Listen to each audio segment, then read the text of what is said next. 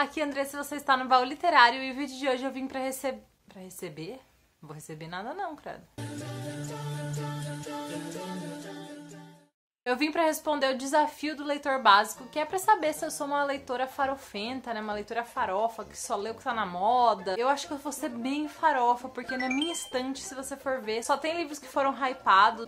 Mas vamos lá, né? Vamos ver. Na primeira questão, a gente já começa que não tá pra brincadeira esse desafio, né? Já começa assim, dando aquele soco no estômago que é. Para cada edição de Harry Potter que você tiver na sua estante, você vai adicionar 20 pontos. A gente não considera esses livros extras, só a, os livros da série mesmo. 1, 2, 3, 4, 5, 6, 7, 8, 9, 10, 11, 12, 13, 14, 15, 16, 17, 18 e 19. Então, como vocês viram aí, eu tenho 19 edições de Harry Potter. E eu sei que tem muitas outras edições, muitos box lindos vindo por aí, ou que já vieram. Mas eu confesso que agora eu já acalentei meu coração de Harry Potter, já, já tenho o suficiente aqui na minha estante. Não tenho o negócio do espaço mais, então agora eu tenho que priorizar o que, que vai entrar e edições repetidas não estão sendo priorizadas no momento. Então só com Harry Potter já comecei com 380 pontos. A segunda categoria é Jogos Vorazes. Tem que acrescentar 30 pontos para cada livro da, da saga de Jogos Vorazes que eu tenho. Jogos Vorazes eu só tenho a trilogia original, né? Com o box das capas originais mesmo, da época que lançou. Então tem um, dois, três. Eu vou considerar a cantiga aqui, então quatro livros. Eu decidi acrescentar aqui sim a cantiga dos pássaros e das serpentes, porque eu acho que faz parte né, de, de Jogos Horazes, então nada mais justo do que acrescentar ele aqui. Então foram 120 pontos só em Jogos Vorazes. A próxima categoria é Nicholas Sparks. Eu tenho que acrescentar 20 pontos a cada livro do Nicholas Sparks que eu tenho. E eu não tenho nenhum Nicholas Sparks na minha estante. Eu já tive alguns, já passaram por aqui mas já deram adeus, já foram embora. Não é um autor que eu gosto muito. Outro que eu sei que vai me abarrotar de ponto é o Stephen King, que eu tenho que acrescentar 30 pontos para cada livro. 1, 2, 3, 4, 5, 6, 7, 8, 9, 10, 11, 12, 13, 14, 15, 16, 17, 18, 19. Na real, eu tenho 20, porque Dança da Morte tá lá na sala, que eu tô tentando ler já faz uns 3 meses ou mais. Tenho 20 livros do King, então são 600 pontos a mais aí pra essa conta. John Green também tá aqui e eu tenho que adicionar 30 pontos a cada livro dele. E eu tenho zero John Green, também é outro que apareceu, um outro aqui na minha estante já foi embora porque não dá certo comigo mesmo. Claro que Crepúsculo não podia faltar, né, para um leitor farofa. Eu tenho que acrescentar 30 pontos para cada livro de Crepúsculo. Crepúsculo também tem aqueles da capa original, normal. Então tenho um, dois, três, quatro, cinco, que é esse aqui, que é especial vira-vira, e seis, que é esse aqui, que é um spin-off. Então seis livros dá 180 pontos. A próxima categoria também vou zerar, que é a, Abandonou a Menina que Roubava Livros. Eu não abandonei, eu amei esse livro. Eu li quando eu era adolescente, logo na hype, e eu gostei muito. Também Zero não já tentou escrever uma fanfic. A próxima categoria me deixou um pouco abalada, porque assim, é a seleção. Eu não tenho os livros aqui físicos comigo, porque eu não achei nenhuma promoção boa o suficiente para eu comprar esses livros. Porém, tenho a intenção. E eu já li todos os livros da seleção, inclusive já até falei sobre eles aqui no canal. Para cada livro da seleção são 30 pontos. Eu vou considerar porque eu tenho eles no Kindle, pretendo ter eles na minha estante e já li todos, então ao todo são 5 livros, então são 150 pontos. Mas,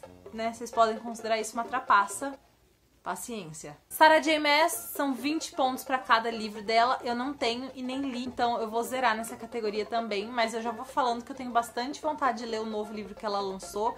Cidade da Lua Crescente. A próxima é Cassandra Clare, são 20 pontos para cada livro dela na estante. Cassandra Clare tá entrando agora na minha vida, então eu não tenho tantos livros assim. Eu tenho Cidade dos Ossos 1, 2, 3, 4, 5, 6, 7 com Cidade das Cinzas, que eu tô lendo no momento, também tá lá na sala. Eu só tenho esse 7 aí porque é, é uma coleção nova, eu resolvi ler Cassandra Clare no final do ano passado e eu tô comprando os livros aos poucos porque são livros caros e eu tô pegando os da promoção, então são 7 ao todo 140 pontos. Se você tem uma edição do Pequeno Príncipe, mais 40 pontos aí. Tenho essa edição aqui que é a normalzinha. Se você leu algum livro da Taylor Jenkins Reid, você acrescenta 30 pontos. Aqui tá falando esse ano, mas esse ano acabou de começar, gente. Então eu vou acrescentar 30 pontos porque no finalzinho do ano passado eu li. Cada conto nacional lido eu acrescento 10 pontos. Eu tenho certeza de que eu li muitos contos nacionais lidos. Aqui não tá falando de tempo, né? Então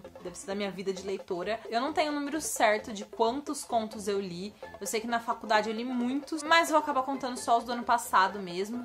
Foram três contos, então vou acrescentar 30 pontos aqui. Se você tem algum livro do George Orwell, acrescente 30 pontos aí na sua conta. E eu tenho um, A Revolução dos Bichos, nessa edição aqui eu ganhei da escola quando eu dava aula. Para cada livro do Percy Jackson, você pode acrescentar também 30 pontos. Eu vou zerar porque eu nem tenho e nem li nenhum livro do Percy Jackson.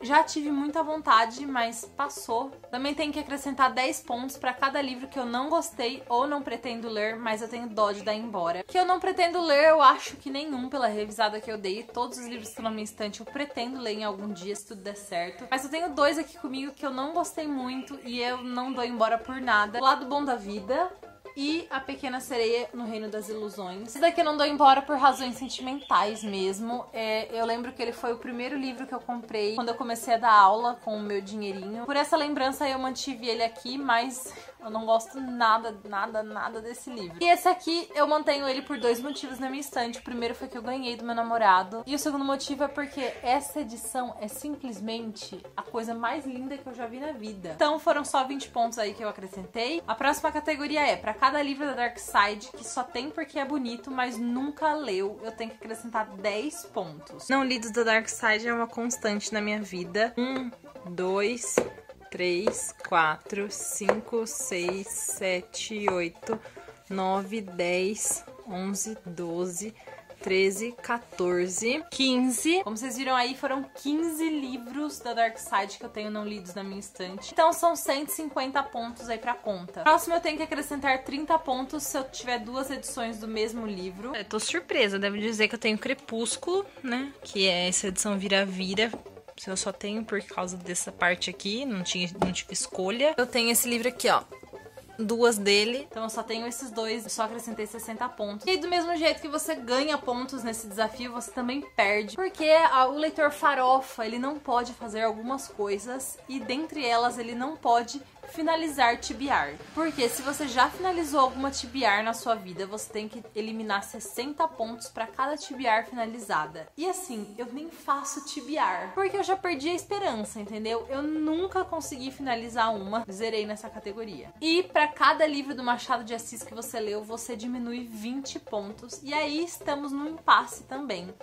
Porque eu li muitas coisas do Machado de Assis, na faculdade. Porém, eu não sei fazer um número concreto, um número certo. Então eu vou pela quantidade de livros dele que eu tenho na minha estante para tirar esses pontos. Eu tenho um livro do Machado de Assis que é Dom Casmurro, né? E eu até gostei bastante na época que eu li, na época da escola. Eu só tenho esse, então eu só vou tirar 20 pontos aí da minha conta total. E ao todo nesse desafio eu fiz 1.910 pontos. E segundo o Vitor, nessa categoria aí dos mil e pouquinho, quase dois mil, seria uma leitora intermediária. Tô entre o farofa e o não farofa ali, tô, tô no meio do caminho. Então é isso, espero que vocês tenham gostado desse vídeo. Se gostou, dá o seu joinha, se inscreve aqui no canal. Se você já fez esse desafio, fala pra mim quanto de farofa você é. Coloca a sua pontuação aqui embaixo pra gente ir debatendo aí se você é farofa ou não. Não se esquece de passar nas redes sociais do baú, tá sempre aqui embaixo os links, principalmente no Instagram aqui do baú, que é por lá que eu sempre falo pra vocês o que, que eu tô lendo, os filmes e as séries que eu tô assistindo, tudo em tempo real e consigo bater um papo com vocês. Se vocês se interessaram em comprar qualquer um desses livros que eu citei ou qualquer outra coisa,